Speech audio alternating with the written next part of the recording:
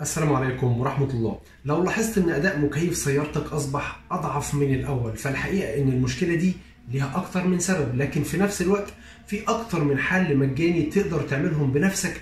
الحلول دي من شأنها إن هي ترجع مكيف السيارة لسابق قوته وسابق عهده وده اللي أنا هشرحه لك في الفيديو ده.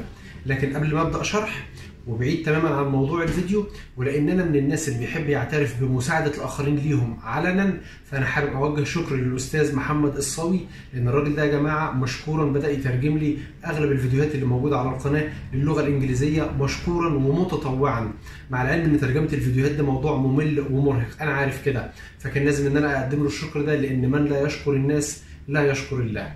شكرا على اللفتة الطيبة دي.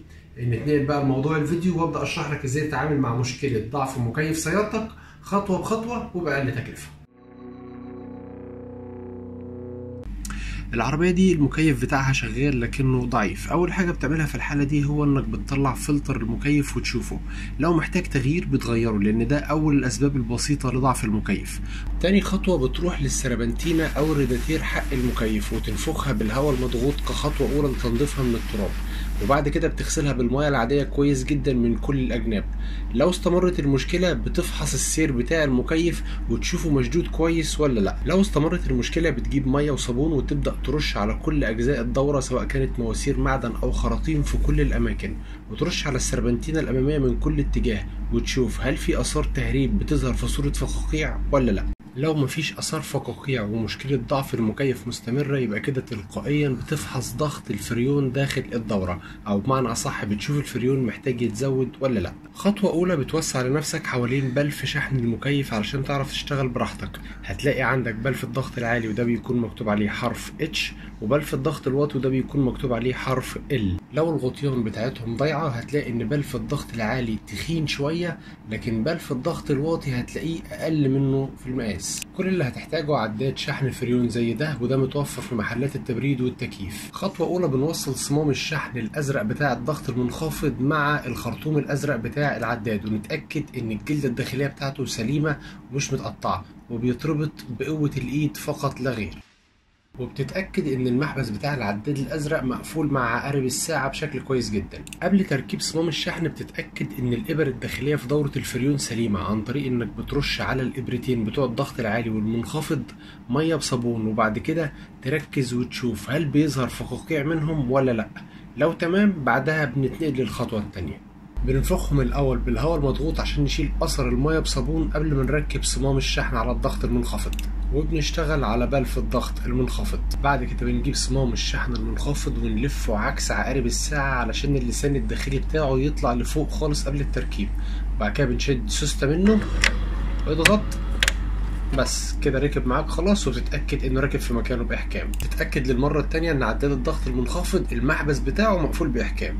بمجرد ما تلف محبس صمام الضغط المنخفض مع عقارب الساعة هتلاحظ على طول إن العداد أخد قراية وسجل وطبعا دي قراية أعلى من العادي لأن العربية مبطلة. بعد كده بنشغل العربية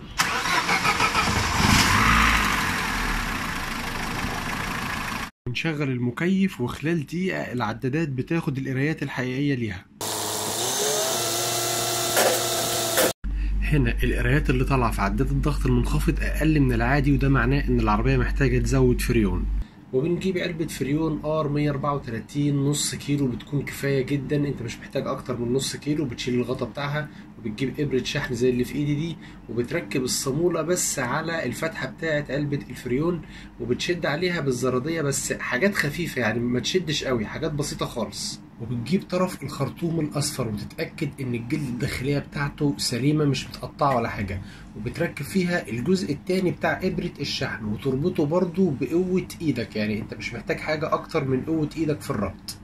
ركز معايا بقى في طريقة التوصيل عشان هي محتاجة خفة شوية. أنت بتوصل الطرفين ببعض عادي جدا وتبدأ تلف العلبة على القلاوظ بتاع الإبرة وتمشي إيدك بالراحة. أول ما تسمع صوت تنفيس أو فس بتروح جاي لافف العلبة بسرعة شديدة جدا زي ما أنت شفت كده. الموضوع سهل وبسيط مفهوش أي صعوبة. كده لازم نخلي بالنا إن الخرطوم الأصفر ده محبوس جوه منه هواء ما ينفعش يخش للدورة. بنطلعه إزاي؟ بنيجي على البكرة بتاعته من فوق وبقوة الإيد. بنفتح لمدة ثانية واحدة بس وبعد كده نروح جايين قافلين تاني بحيث إن إحنا نسرب الهواء اللي محبوس جواه. نفس الموضوع بالظبط بنعمله مع الخرطوم الأزرق علشان لو في هواء محبوس. نفك لمدة ثانية واحدة بس نسمع صوت التنفيذ وبعد كده نروح جايين قافلين بسرعة تاني. كده خلصنا الهواء من الدورة. بعد كده بنفتح المحبس عكس عقارب الساعة لمدة حوالي 20 ثانية تقريبا عشان نسمح للفريون إنه يدخل. وبعد كده بنشغل العربية. شغل تكييف وخلال دقيقة تقريبا هتلاقي إن عداد الضغط المنخفض المؤشر بتاعه بدأ ينزل ويوصل للمستوى القياسي بتاعه اللي هو عند 30 PSI عند النقطة دي بتروح جاي قافل المحبس بتاع العداد وتصبر على العربية حوالي دقيقة أو دقيقتين. لو لقيت إن المؤشر ثبت على كده ومفيش حركة أو نزل لحد 27 حد أقصى كده كل حاجة معاك تمام. لقيته لسه بيرجع تاني بيتغير من مكانه بتفتح له تاني برضه حوالي 20 أو 30 ثانية. المهم في الآخر إن هو يكون معاك ما بين 27 و30 PSI وهنا دورة الفريون بقى الضغط فيها مثالي. وبنقفل محبس الفريون بإحكام كامل وبعد كده بنروح على علبة الفريون ونفكها بنفس الطريقة اللي إحنا ربطناها بيها. وبنلف الصمام عكس عقارب الساعة علشان الإبرة تطلع لفوق وبعد كده بمنتهى السهولة بنعمل سوستة ونشيله. في أسباب تانية خبيثة لضعف مكيف السيارة وفي حالات تانية معينة هتقابلك وأنت بتعمل تتبع لمشكلة ضعف مكيف سيارتك. وفي تفاصيل تانية أنا ما قلتهاش.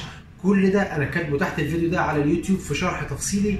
مهم إنك تطلع على الشرح ده علشان يكمل كل المعلومات اللي موجودة في الفيديو.